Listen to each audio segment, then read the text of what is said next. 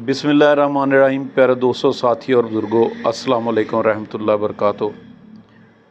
प्यारे दोस्तों, उम्मीद करता हूँ आप सब हैरियत से होंगे, जहाँ भी रहें, खुश रहें, अल्लाह पाक आप सबको अपनी मान में रखे। प्यारे दोस्तों, आज का जो मौजू है, ये बड़ा इंटरेस्टिंग और बड़ा दिलचस्प सा मौजू है। इन ताला आपको इसमें से बहुत सारी ऐसी मालूम मिलेंगी। जिनको आप इंजॉय भी करेंगे और आप अगर उसका तजर्बा करेंगे तो आपको उसमें अपने शौक़ में काफ़ी चीज़ नई चीज़ों का पता चलेगा। तो आज के जो हमारा टॉपिक है वो है सियालकोट की दो कदीम नस्लें।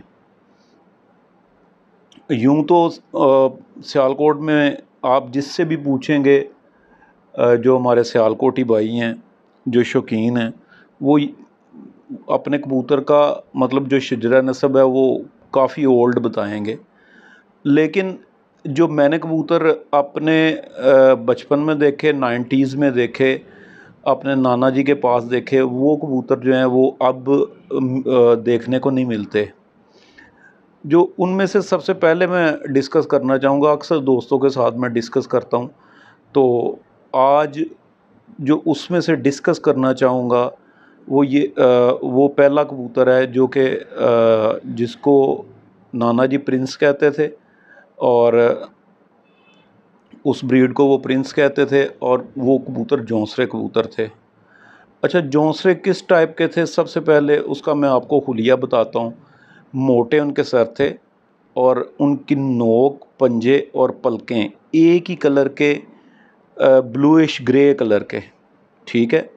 नीली, नीले माइल सरमई, इस टाइप के उनके ये तीन चीज़ें थी पलक, नोक और पंजे। और मतलब पंजों के नाहुन जो हैं, जो उनकी उनकी नलियाँ थी, टांगों की जो नलियाँ थी मतलब जो पंजे थे उनके, वो बारीक और मतलब जामन टाइप थे, थोड़े डार्क कलर में थे। और ये जो ये जो कबूतर थे ये बिल्कुल बाकी बिल्कुल सफ़ेद थे और यहाँ पे उनके लंबे जों थे और जों जो हैं वो चावल नुमा थे मोटे गोल जों नहीं थे चावल नुमा लंबे जों थे और ये कबूतर जो हैं सर से फीके थे ठीक है यहाँ पर उनके आ, मतलब सीने तक जों रहते थे उनके और उनकी जो दुम है उसमें एक आध नीला पर आता था। नीला पर मतलब नीला माइल ग्रे पर जो है वो आता था। बाद का दुम में एक किंगरी सी आ जाती थी नीली सी जैसे जैसे उम्र बड़ी होती थी। इनकी आँखें जो हैं इनकी आँखें नीली आ, मतलब ज़्यादा बहुत ज़्यादा नीली नहीं लेकिन बिल्कुल लाइट सी नीली और लेकिन उसमें प्याजी ज़रात आते थे। ठीक है प्याजी ज़रात जैसे मैरून कलर के ज़रात आते थे। और जब इनका कोई इनका कोई इस नस्ल में से कोई जानवर उड़ के आता था तो वो प्याजी ज़रात ज़्यादा वाज हो जाया करते थे। तो प्यारे दोस्तों, ये कबूतर जो हैं, इन कबूतरों को मैंने अपने बचपन में देखा। नाना जी से मेरे पास एक लकवे वाला कबूतर आया, उसके मैंने बच्चे करवाए। इस कदर इनमें बर्दाश्त थी कुत बर्दाश्त थी। मैं आपको बताता हूँ कि उस वक़्त लाइलमी का ज़माना था तो वो मेरे पास जो है वो बड़ा कबूतर जो है उसको आ, मुझे किसी ने कहा लग मतलब जिस तरह अभी भी कोई पोस्ट लिखता है कि मेरे कबूतर को ये हो गया तो नीचे मतलब 900 बंदा उसका इलाज लिख देता है ठीक है? तो इसी तरह उस वक़्त किसी ने बताया कि लकवे का ये इलाज है कि आप गर्मी में इस कबूतर को जो है ना तांबिए के नीचे लोहे के तांबिए के नीचे बंद कर दें। तो मुझे अभी भी याद आता है कि और कोई कबूतर होता तो शायद मर जाता। उसको मैंने उसी तरह बंद कर दिया। अब कुछ देर के लिए मैं उसको भूल गया। और किसी काम में लग गया। जब मैंने काफ़ी घंटे के बाद मैंने उसको देखा जा के काफ़ी वक्त के बाद मैंने उसको देखा जा के तो आप यकीन करें कि उस वक़्त बाहर पाँव नहीं रखा जाता था। और उस कबूतर का गर्मी के मारे उसका जो बारीक तिल है, वो मज़ीद बारीक हो चुका था।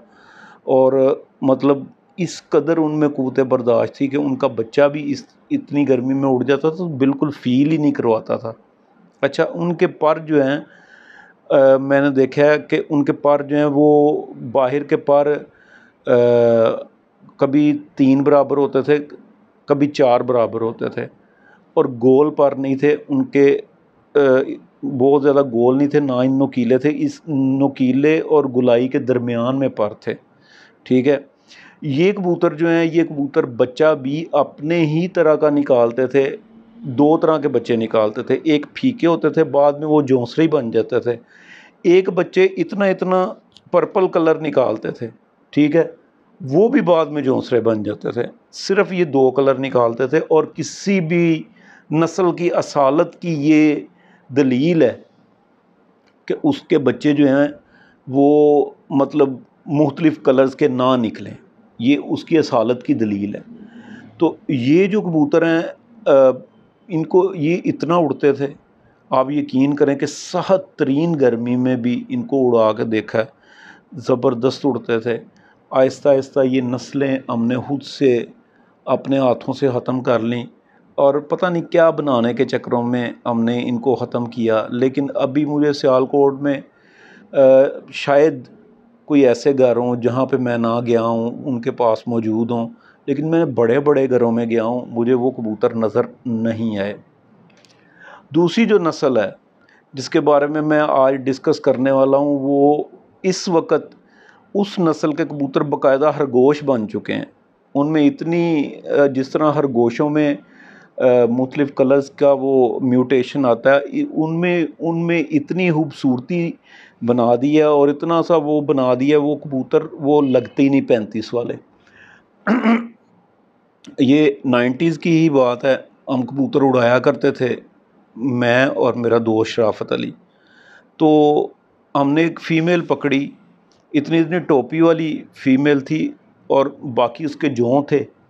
तो वो उस वक़्त उसको एक एक तरफ़ गुलाबी कलर लगा हुआ था, एक तरफ़ सब्ज़ कलर लगा हुआ था।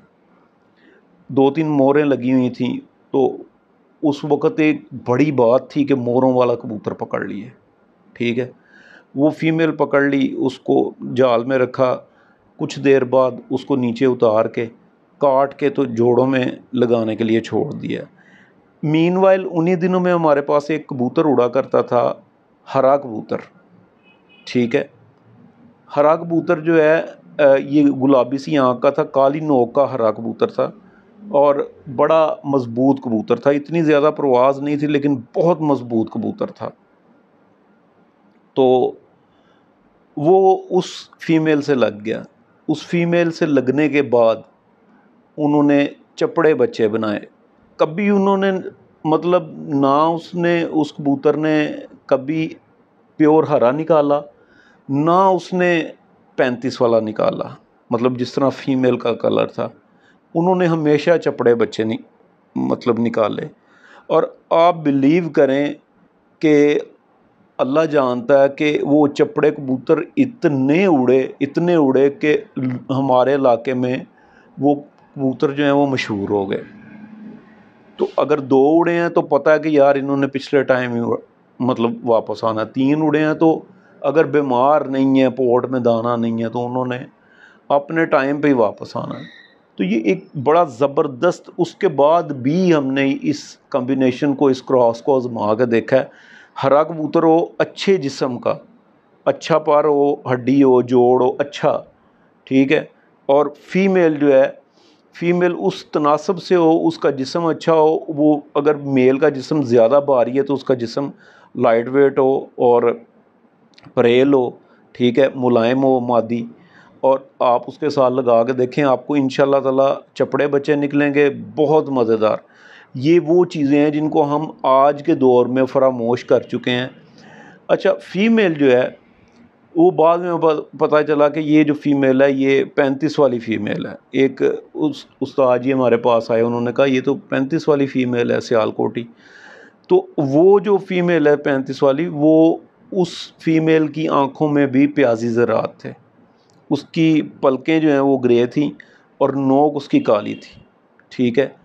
बाज़ का भूरी भूरी सी कलर की बन जाती थी, सरमई से कलर की, ग्रे से कलर की, लेकिन मोस्टली वो, लेकिन उस फीमेल में मैंने इतना को करंट देखा, आप यकीन करें कि अगर बाज़ का हमने उसको दो दो कनियों पे काट के रखा हुआ था दो दो परों पे, बाज़ का अंदर से अगर कभी सर पर होगी तो वो उस पर मतलब पूरा ज़ोर लगा के उड़ पड़ती थी, ठीक है? तो मोस्टली हम फिर उसको एक दो दफ़ा उसकी इस हरकत के बाद कि यार ये ज़ाया ही ना हो जाए, उसको हम साइडों से भी गोल कर, और उस फीमेल ने जितनी देर हमारे पास रही है, उस फीमेल ने हर कबूतर के साथ बच्चे उड़ाने का हक अदा कर दिया। ये दो नस्लें थीं जो कि अब तकरीबन तकरीबन जो हैं, वो नापैद हो चुकी हैं। अब जो मैं देखता हूँ दर्जनों के हिसाब से लगे होते हैं कि ये कबूतर सेल कर रहे हैं तो आप यकीन करें कि वो वो वाले वो कबूतर हैं ही नहीं कि जिसको हम प्रेजेंट कर सकें। सियालकोट में, बड़े घरों में पैंतीस वाले कबूतर अभी भी अच्छी मतलब उसमें हैं, हालत में मौजूद हैं। शेर सानलाई साहब मेरे बहुत अच्छे दोस्त हैं, उनके पास मौजूद हैं। ठीक है? एक दो और भी घर हैं जिनके पास ये कबूतर अच्छी हालत में मौजूद हैं और ये प्रवास भी बहुत अच्छी करते हैं।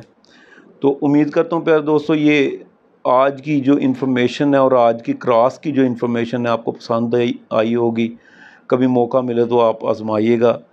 अगली वीडियो तक के लिए आप सबसे इजाज़त चाहता हूँ।